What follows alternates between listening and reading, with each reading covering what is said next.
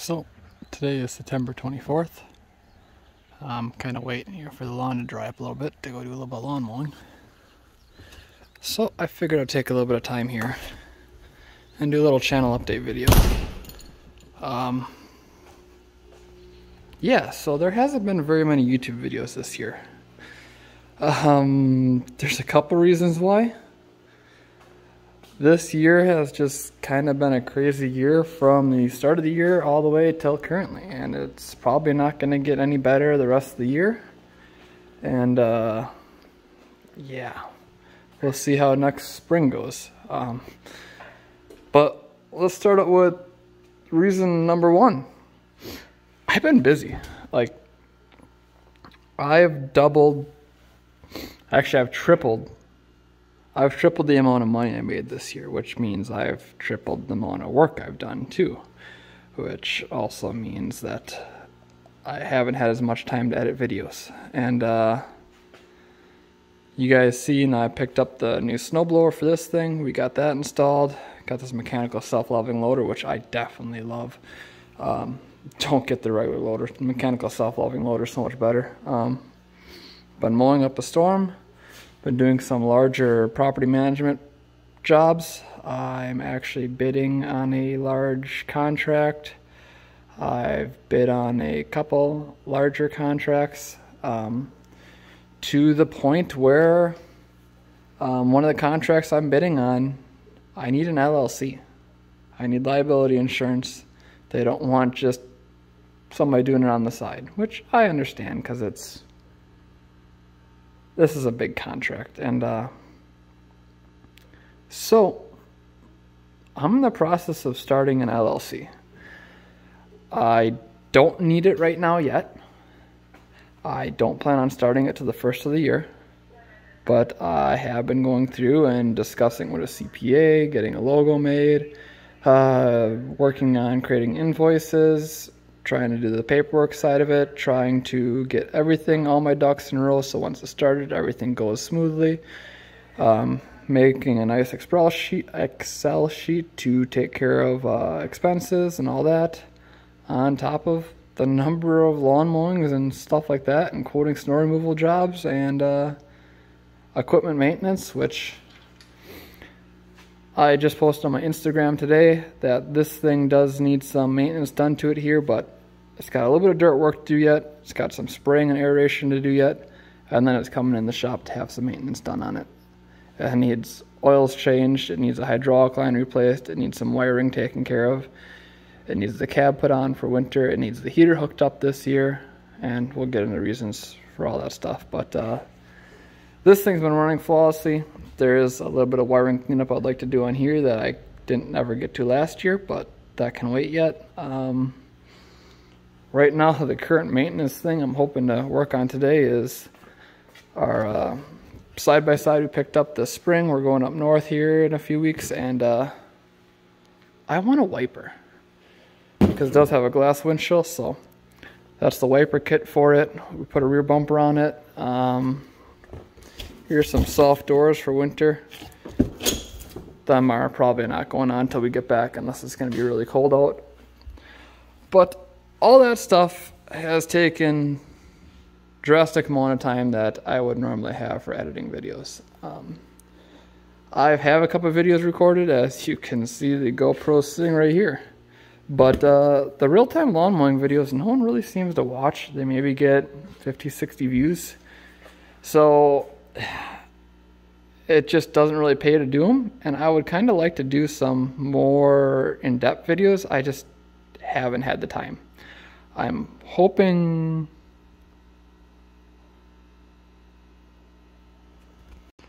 And that was a perfect example. I just got a phone call, so I don't remember where I was. Um, yeah, so anyways that's uh, eating up a lot of time. And then the other side of it was uh, it's been a fun, interesting year for me medically wise. Um, if you're not following me on Instagram, you should really follow me on Instagram. Go create an Instagram and follow master.of.everything. It's linked down below in every one of my videos. You'll be a lot more up to date than what you will be on YouTube. I post little short clips multiple times a week. Um, stuff on that. So let's get into this a little bit. Um, I started out in January, started having stomach aches, and uh, every time I'd eat, I'd feel like shit. I tried eating small meals, I tried breaking my meals up throughout the day, and this went on for about two weeks. Everything I ate, well, I'm like, well, it's not a stomach flu, because that was my first thought. I'm like, oh, it's just a stomach flu. I feel like shit every time I eat, or just had a stomach ache. You know, eh, just a stomach flu. Well, we went on about two weeks, and I went to the doctor. Well, the first thing they always think it is is acid reflux. I'll put on medication for acid reflux. That didn't help. Put on a different medication for acid reflux. That didn't help. Still having stomach aches. By this point, I'm starting to not eat very well. I had, I was in the middle of lawn rolling, and uh, I felt like shit every time I ate, so I just was waiting until later in the day to eat, like after I got everything done for the day. Um, kept going, kept going. So then they, well, let's let's take a look. Let's go down your throat and check your esophagus, check your stomach, check the beginning of your small intestines, make check for acid reflux, and that. Well, there's no acid reflux. Well, okay, duh. So what's going on here? So I, uh, we're talking to the doctor, and she was kind of asking me questions and that how a stomach ache feels, blah, blah, blah. And I forgot what she asked but I'm just sitting there thinking, I'm like, you know, I go to her, I go, every time I eat, it can be seven hours later, and I'm still burping up what I ate. Which to me doesn't seem right because in health class I thought it was like a couple hours for food to be out of your out of your stomach in order to be burping it up, it's still got to be in your stomach, right? And she's like, yeah. So they did what's called a uh, gastric emptying test, which is a very interesting test. Um, go to the hospital and they have they make you scrambled eggs, toast, and jello jelly, and uh, the eggs are traced are laced with a radioactive tracer, so you eat radioactive eggs and then you lay underneath a scanner and it scans your stomach every couple minutes or every so often and sees how fast that empties out of your stomach. Well, everything should be completely out of your stomach at about four hours. Mine turned out to be that everything would be completely out of my stomach at like seven hours, which explains the burping. Um, so, okay, so we figured out what it was. Then I went to see a GI doctor. The GI doctor's like, well, it could be this causing that. It could be this causing that. It could be this causing that. So I had a bunch of other tests done, lab work done. Had another test done where go to hospital and they give you an injection of radioactive tracer and blah, blah, blah, blah, and see how your gallbladder reacts, I check your gallbladder function, all this shit. I've had over 20 doctor's appointments this year. And uh, it eventually got to the point where um, she referred me to a larger facility, UW uh, uh, Froedtert, sorry, Froedtert here in Wisconsin, uh, Froedtert Medical College in Milwaukee. Well, they're four months out this whole time I'm losing weight. Like I'm dropping weight left and right. Every week I'm losing more and more weight. And they keep trying different medication and it's, oh, well, try this medication, see you in four weeks. Try this medication, see you in four weeks. So eventually when she referred me, she goes, well, I, I don't know what else to tell you. I'll refer you to UW Froedtert. And well, I'm like, okay. So I'll find out that it's four months that I would we waiting to get in as soon as I could get in. And that was urgent.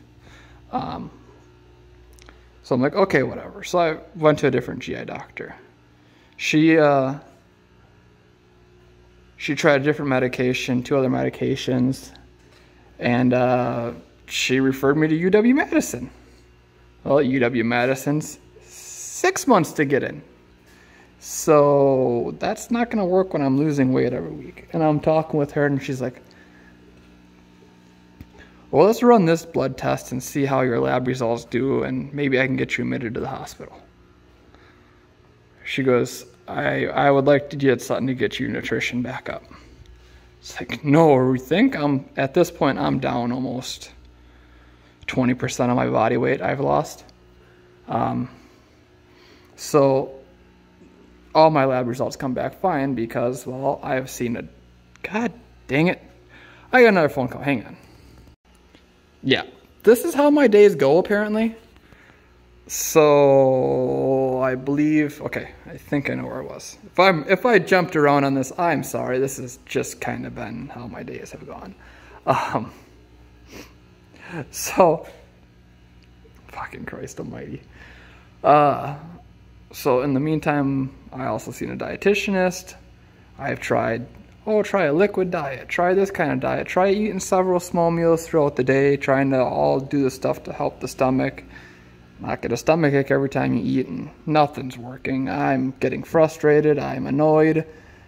I'm doing what the dietitian said, taking a multivitamin, drinking Ensures, blah, blah, blah, blah, trying to drink liquids more than solids and all this shit. And, well, doing all that stuff and taking a multivitamin and all that stuff, all my lab results came back fine for like minerals and vitamins and stuff that she was hoping she would, one of them would be real low, that she could admit me to the hospital for that, but it didn't happen. And so she's like, Well, I know it's going to take, I know you're six months out for UW Madison. And I'm like, Yeah, like something needs to get done. I'm like, this is way too much weight to lose. And she's like, oh, I would like to do something, but there's nothing I can do. And she goes, she goes, well, try going with your primary uh, primary care doctor, which in the meantime, I scheduled an appointment with her just trying to find some way to get something done because like the weight loss was getting serious. I was freezing. I felt like shit. I had zero energy, just beat down, wore out mentally, physically, all this shit. Um, and I talked with her, and she goes, Well, she goes, well, I'd like to put a feeding tube in you, which, okay. Like, obviously, this ain't helping. Something needs to get done, so I don't care at this point. But she goes, I've never ordered one. So she had to talk with a couple other doctors who a doctor referred me to a surgeon. This surgeon took a look at. I went to this appointment to talk to the surgeon. She looked at me and goes, Well, as malnourished as you are, I don't feel comfortable putting a feeding tube in you.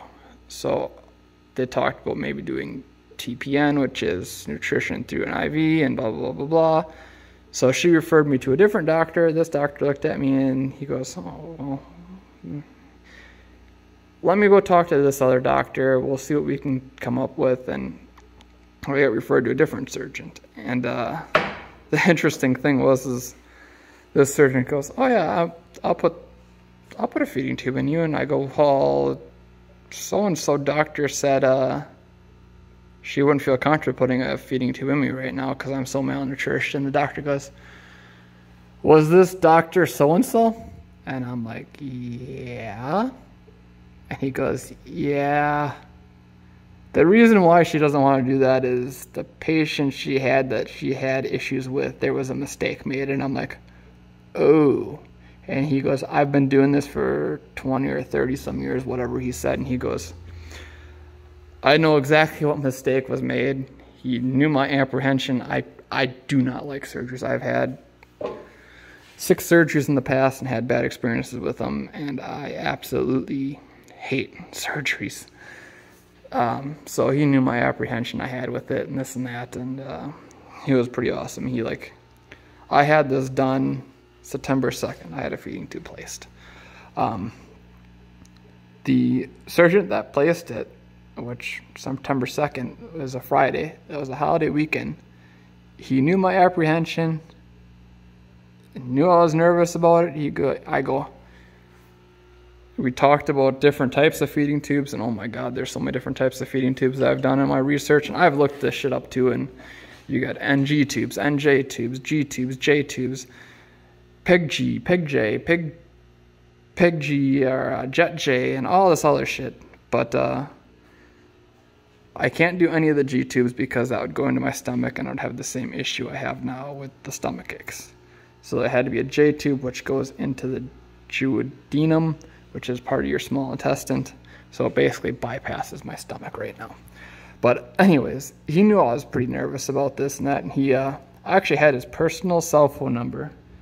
If I had any problems, he goes, call me. I'll even come to your house if I have to. I'm like, holy shit, that's a fucking doctor right there. How many doctors nowadays pull that shit? Um, but uh, anyways, so it's been what 21 days since September 2nd, and uh, yeah, so it's all covered up. So don't worry too much about it. There's some gauze over top of it right now. It goes through my skin into my small intestine. I have this taped up weird because there's got stitches in here that are hopefully coming out next week and by taping it this way it's not pulling on the stitches but there you go that goes down. Um, one second. Get my shirt untangled. Do a backpack. And I might need two hands for this. We'll see. Zoom in a little bit here. Give me one second.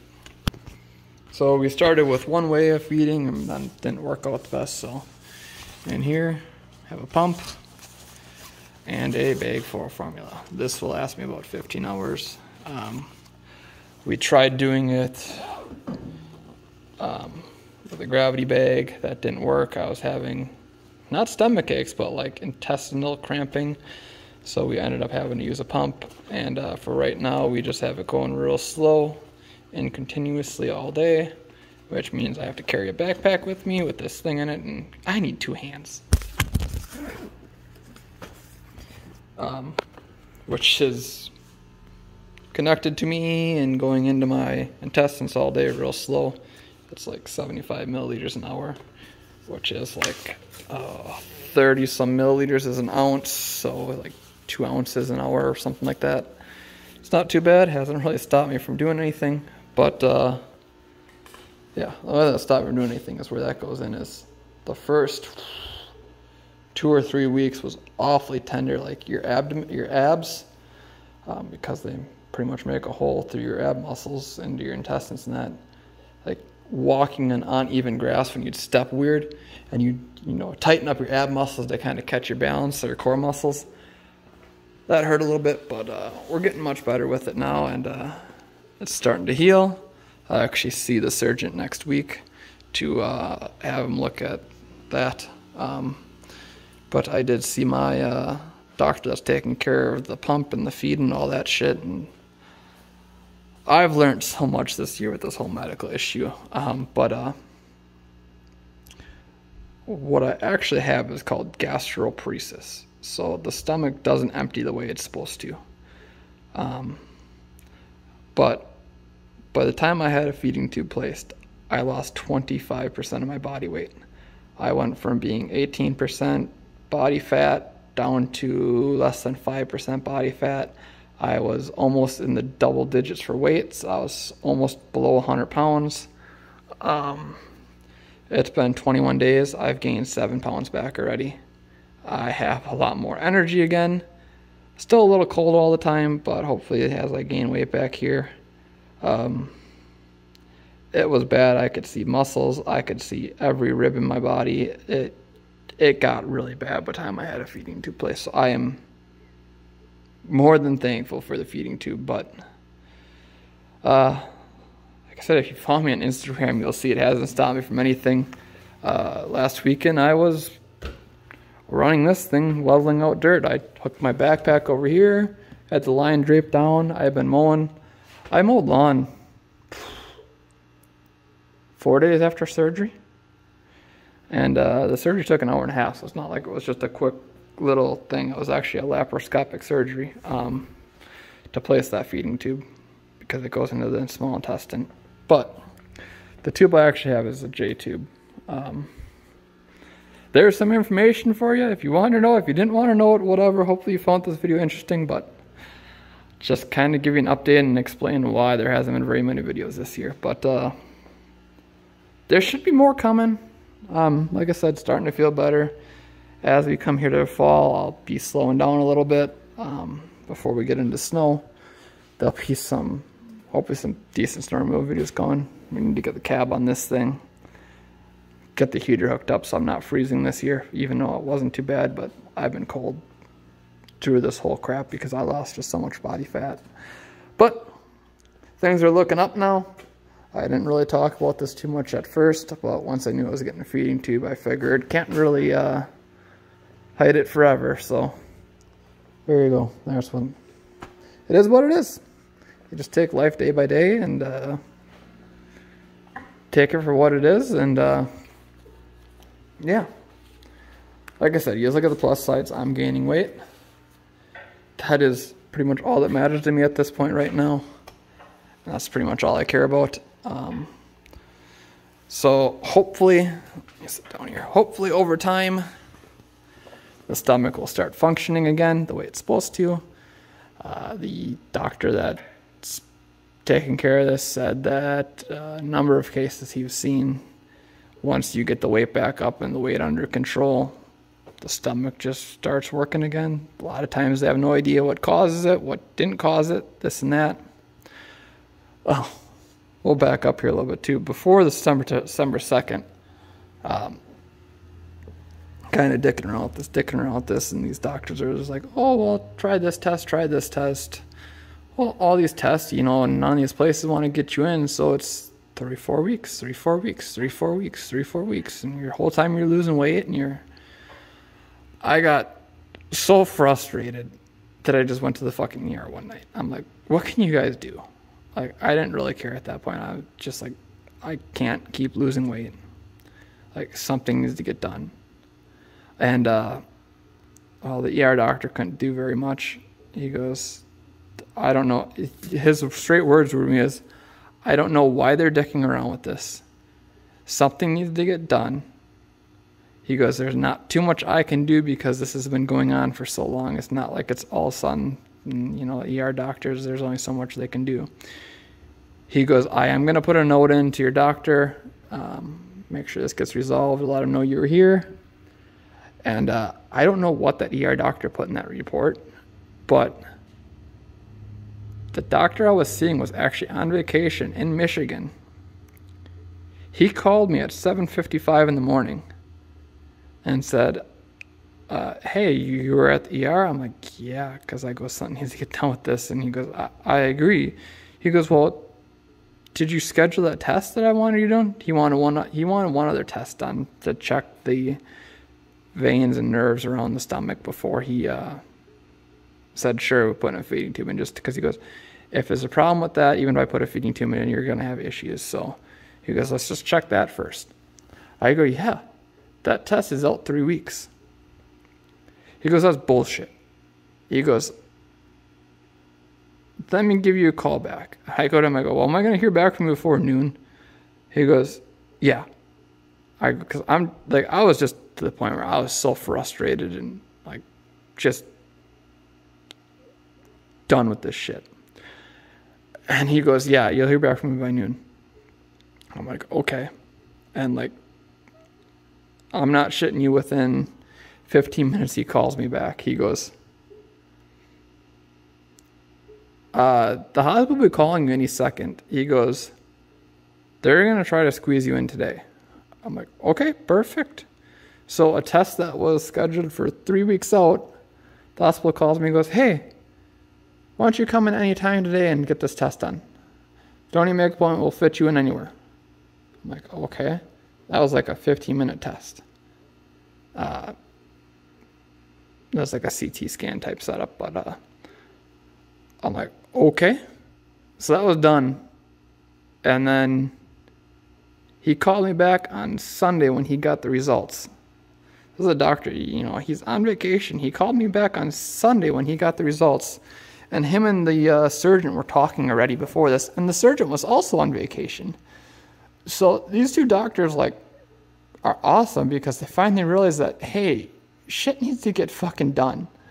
So within a week after that, I had a appointment scheduled and everything, and was in surgery getting a feeding tube placed. So it it it's been a crazy, crazy fucking year. Um, but there's uh, why there hasn't been very many YouTube videos. There's a little update. Hope you guys find interesting. Like I said, if this is all news to you and you haven't found any of this out till now, I really highly recommend you to follow my Instagram and uh, you'll be a lot more up to date. There's link is once again down below in the description. Or you can follow me at master.of.everything on Instagram. Um, the profile picture is the 648R and the stand down in the same profile picture. Sorry, the 648R and the 1025R on the uh, profile picture. So, yeah, there's a little update on me and uh, the equipment and uh, how my year's been going. But uh, I'm excited. I'm gaining weight, which is awesome. A plus, like he said, it's probably gonna take a while to gain the weight all back that I lost but seven pounds is a start. He goes, that's probably going to slow down here. Most of that was just getting your body rehydrated and all this, but um, yeah, I'm excited to be actually starting a business that's going to be legit with liability insurance and all this stuff instead of just doing this on the side. I'm excited to get these couple big contracts. I'm excited for all this stuff. So, there'll be more videos coming, and uh, yeah. Welcome to my crazy year. Hope you guys found this video interesting. If you uh, like this, give it a thumbs up. It does help a lot. It uh, it helps with analytics. It helps with this channel, especially seeing I haven't posted very many videos this year. YouTube probably is mad at me, and I'm probably in like YouTube jail or something. And uh, the algorithm probably hates me. But hey, comment the heck out of this video, like it, comment, blah blah blah blah. Normal YouTube stuff. Um, and if you want to see videos of this thing, there's a couple up. There'll be a couple more coming. And if you want to see that brand new heavy duty John Deere front three point snowblower this fall, make sure to subscribe because she's coming and she's a monster. I have it, it's installed. Gotta get that on, gotta get my cab back on, and this thing is gonna be one wicked snow removal machine this year. Plus, I also have a uh, I have a da, da, da, what's the word? I have a box blade for back here too.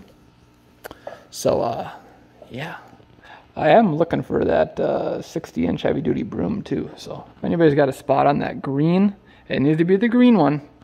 The green 60 inch heavy duty broom for the uh, uh, what are they called? Front front mount commercial lawnmowers, like what golf courses and schools use, counties use. If anyone's got a spot on a broom for that, let me know because that I can convert to fit on this front three point hitch. So, yeah. Once again, guys all have a great day. There's why I haven't been doing very many videos. And uh, I'm to maybe try to shoot a review video of this thing quick. And uh, yeah. Once I get the snowboard and that on, we'll do a, uh, what, six, five, six review of the 1025R. Seeing my uh, three year or two review is pretty popular. But there you go. I said but like how many times now? So my phone hasn't ring for a while. It's gonna ring any second now, isn't it? You guys have a good day. See ya.